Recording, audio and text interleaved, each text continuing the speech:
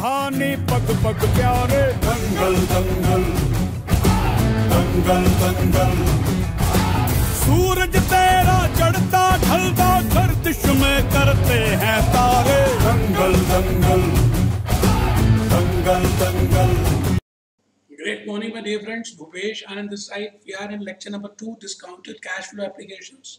In the lecture, lecture number one, we have discussed how to calculate NPV, what is the meaning of NPV, and how to use the calculator with the help of a cash flow function, how we can calculate NPV within seconds. So today, in today's lecture, I will be taking same learning outcome, that is learning outcome number A, compute and interpret NPV and IRR. That is the most important learning outcome in this reading. So I will be continuing with the same concept in this lecture also. That is in lecture number one and lecture number two. I will be discussing learning outcome number A. And as per learning outcome A, I have to discuss, you know, the relevance of NPV and how to calculate IRR. So let's start with the journey. Please take out your registers. Calculate and interpret NPV and IRR of an, of an investment. My dear friends, in the last lecture, no doubt you have written some, some, some handwritten slides. Now my request to you will be please take out your register and please write on this also. And again, financial calculator because I will be telling you some secret tricks from this calculator to calculate IRR. Now, before IRR, I should be uh, again telling you what is the meaning of NPV. We have discussed in the last lecture when I say NPV, it is present value of cash inflows, future cash inflows minus present value of future expected cash outflows. Inflows minus outflows, that is equal to NPV. And when NPV is positive, you know, we it is better to accept the proposal. When it is negative, it is better not to accept the proposal. It means we are in this this scenario, the table which I have prepared for you, there are three variables. NPV is variable number one, which is, is equal to, which is equal to, variable one is equal to, variable one is equal to, variable 2 minus variable 3 variable 2 minus variable 3 and what is variable 2 present value total of present value of all expected cash inflows. And what is variable 3 total of present value of all expected cash outflows so if i deduct outflows from inflows the net figure will be either positive or negative then I can say that my NPV is positive or negative if NPV is positive. Now when it can be positive and inflows are more than outflows, it is better to accept the proposal. And when NPV is negative, negative, it means outflows are more than inflows not to accept the proposal. This I have already told you, but the, today's lecture that I want to tell you is that if anything is missing in this equation, this is this is variable number one, this is variable number two, this is variable number three. One is equal to two minus three. If one is missing, I can calculate two minus three. If two is missing, I can calculate with help of one and three. If three is missing, I can calculate with help of one and two. So today, in today's lecture, I will be dealing with one case study in which I have missed, I have deliberately missed one cash flow of a particular year. But I have given NPV, that is variable one is given to you. Cash outflow is given to me. Cash inflows is even given to me. But one year cash flow, you know, I have deliberately missed it. So that is to be calculated. What is the process of calculating it? That we'll be dealing with that. Please write down this important note in case any variable is missing. Now there are three variables, variable 1, variable 2, variable 3. In case any of the variable is missing, then we can calculate the same. We can calculate the same with the help of this standard equation. Now this is a standard equation. So let me start with a case study, you know. I want to do a case study for understanding the figure, you know. Basically, in this case study, I don't want to tell you how to calculate NPV that I have already told you in the last lecture. But today's lecture is more important because I will be telling you that how to calculate that missing cash inflow if NPV is given to me, if outflow is given to me, so that you can better understand that relationship. So please write down, my dear friends. Calculate cash inflow of year three. Now there are four years, you know, in, in, a, in, a, in a project that I am giving to you cash inflow first year is given, cash inflow of second year is given, cash inflow fourth year is given, but I have missed cash inflow of third year. Even cash outflow of zero period is given, even NPV is given. So on the basis of that equation, you know, so that you can get an understanding, you have to calculate cash inflow of third year. So please write on the question, calculate cash inflow of year three in relation to a given project. In relation to a given project. Other information is as follows. You know, this this is a timeline which I have given to you. This is T0 this is T1, this is T2, this is T3, this is, this is the part of a question. In T0, you know, outflow is there minus 5,000. T1, $3,000 is a cash inflow. Year 2, $2,000 is a cash inflow. Year 3 cash inflow is missing. Year 4 cash inflow is 4000 when something is in positive we treat, it as cash inflow. And when something is in negative we treat it as cash outflow. And npv is given to you as you know NPV is given to you as $5,500 and the discounting rate is 20%. So so how to calculate that? How, how this figure is to be calculated if this equation I am aware of, if variable 1 I am aware of, I am aware of variable 3 and some part of variable 2 is missing. So with the help of equation we can solve it. So I have done it with the help of you know very simple technique. You know this can be solved by two or three methods with the help of TVM row, with the help of with the help of uh, cash flow function.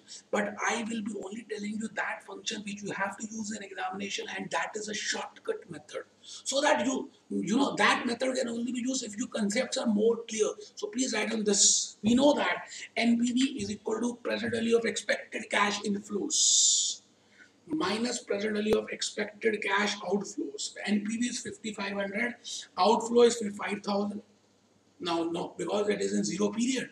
When i say it is in zero period it means it, it, the, the discounting rate is zero you know now the $5,000 worth is 5,000 only. So present value of outflow at zero period is 5,000 but I am not aware of the present value of total of cash inflows. So I can solve it with the help of equation. 5,500 should be equal to X minus 5,000. So X will be equal to 5,500 plus 5,000 that comes to 10,500.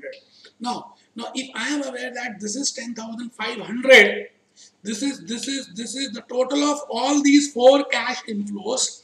The total of all these four cash inflows, if it is 10,500, then I can, you know, I can calculate the missing figure. So I, I did it with the help of a calculator. So please take out your calculators, my dear friend. We will be using cash flow function in calculating that. Very shortcut method. I will a second, second, uh, uh, sorry, cash flow function, second clear work, and then CF 0 will be there.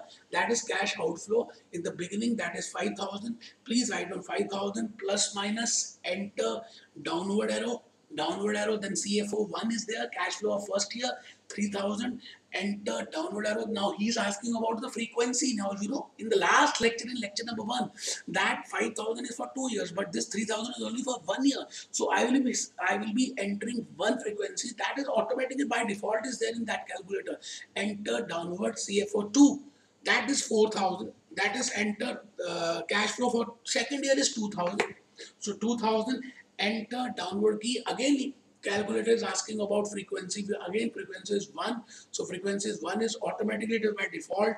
Enter download arrow. Now the question is cfo 3 now because i am not aware that how much is cfo 3 so i am making it, making it as 0 so i am making it at 0 enter download arrow frequency 1 enter download arrow. Now the calculator is asking about cfo 04 that is cash flow fourth year and I know that cash flow fourth year is 4000 4000 enter downward frequency 1 enter downward. Now the point is it will it, it will go like this but we have only four years. So compute NPV when I say compute NPV that calculator will ask me how much is the IY then I will put 20 enter enter 20 enter downward compute NPV now that NPV is coming as approximately $818.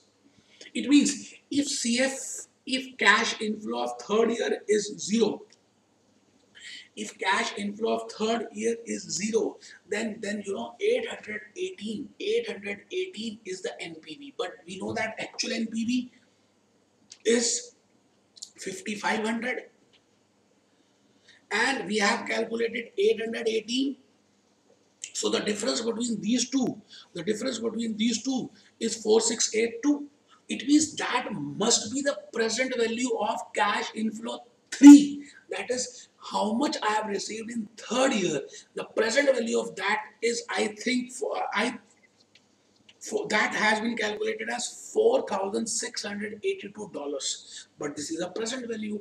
We have to calculate the future value. Very simple in the time value of money row. In the last reading, we have discussed that how we can calculate from future to present or from present to future. So this is present. So we can calculate future. Second clear TVM 4682. 4682 as present value. N as 3 20 as IY. 20 as IY. My dear friends, I have written the steps even for you. Compute future value that is coming as 8090. It means, it means, you know, we can cross check it. Cross check it also. I will be telling you how we can cross check. It means the missing cash inflow whose cash flow third is missing. The future value is $8,090 and its present value is 4682. Hope you have understood this.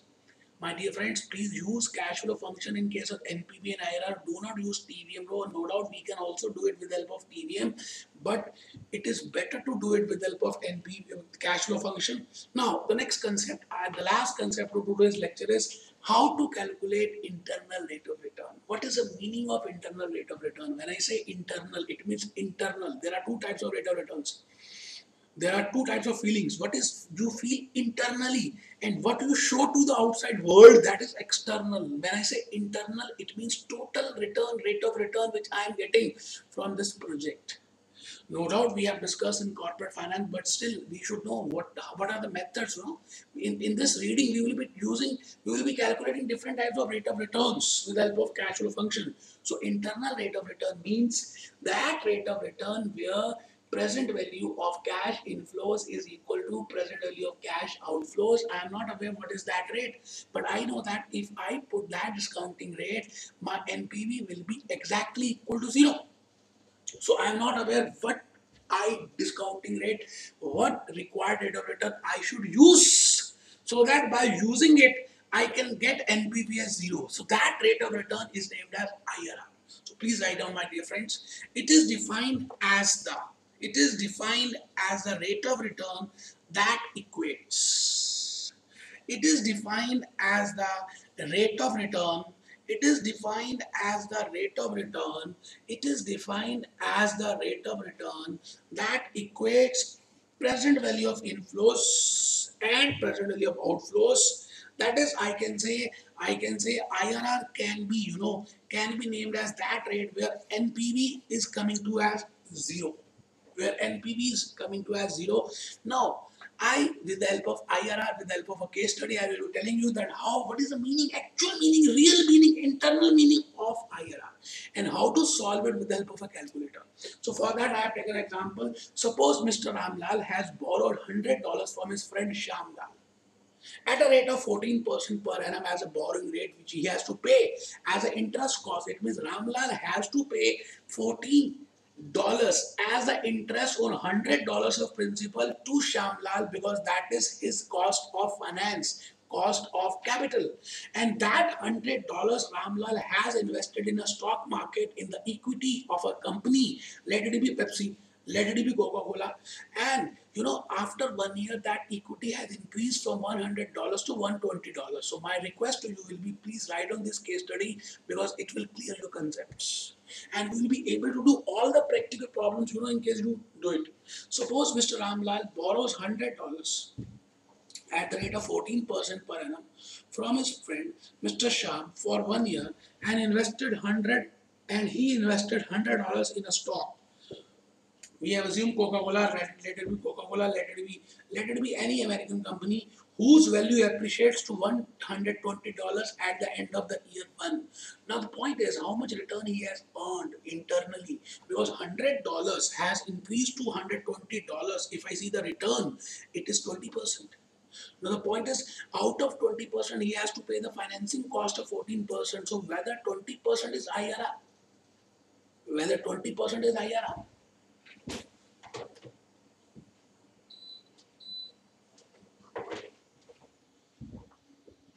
whether 20% is IRR or 6% is IRR. The point is, before deducting any financing cost, whatever return we are earning, that is named as internal rate of return. So 20% is internal rate of return and 14% is cost of financing, you know. That 14% is cost of financing. So we can analyze that if IRR is greater than cost of financing, that is 20% is greater than 14%, it is advisable to accept the proposal. Because in these cases, NPV will be equal to positive. So please write down why, please write down my dear friends, whose value appreciates to this at the end of the year, calculate this. This, this is the this is the example which I have given to you, case study. So I have I have I have decreased, I have prepared a timeline and, and the answer for that case study that hundred dollars has been increased to one hundred twenty dollars return is 20%, cost of capital is 14%. Now the point is whether I should subtract 14% and then calculate 6% whether 6% is IRR or 20% is IRR. My dear friends, internal rate of return is before deducting any cost. That is aimed as internal rate of return. So 20% is IRR. 20% is IRR. So we can conclude if IRR is greater than cost, if IRR, if IRR, if IRR, if IRR is greater than cost, it is better to accept the proposal because in these cases, there is a possibility or in these cases, NPV is positive. In these cases, NPV is positive. You getting a point? So let me move to another. How to solve it with the help of a calculator. Very simple steps. Again, I will be using cash flow function. Cash flow, second clear work. I have cleared all the old work. So I will be going to start with 100 is a cash outflow. So 100 plus minus enter downward. CF1 is 120 positive enter downward frequency is 1 enter and now I will be computing IRR. IRR IRR compute that is coming as 20%. Just see I have written the steps even cash flow, cash flow, second clear work, 100 plus minus CFO 1, CFO 0, then 1 as frequency, enter downward 120 as CFO 1, enter downward 1 frequency 1, enter IRR compute that is 20% my dear friends. I have written the buttons even which you have to press now it is your job. You have to press the buttons. You have to run the show. I have, all, I have told you all the concepts, all the buttons, you know. Even I am doing it in front of you. So please do it now because tomorrow never comes. And June, December examinations are coming fast and you have to attempt, you have to clear in first attempt, my dear friends. So be happy, be jolly, be cheerful, be happy, be jolly, be cheerful. But before we leave, you know, before we say today today as a class as a class you know. We can you know uh, see in from google baba that what is the meaning of internal rate of return in case time permits you. And internal rate of return the same concept which i have told you that this is irr this is irr and on the basis of that you can calculate it. When i say irr and net present value there is a relationship of irr and npv and there is a conflict between irr and npv that we'll be discussing in lecture number 3 that is the learning outcome number b that whose decision is the best, whether we should accept NPV as a decision or we should accept decision on the basis of IRR because there are, there are some wrong assumptions which have been made in IRR. So that is lecture number three, very important for your examination.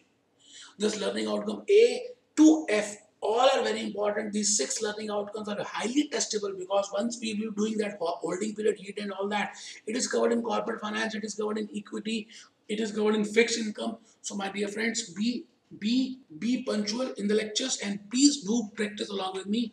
Be happy, be jolly, be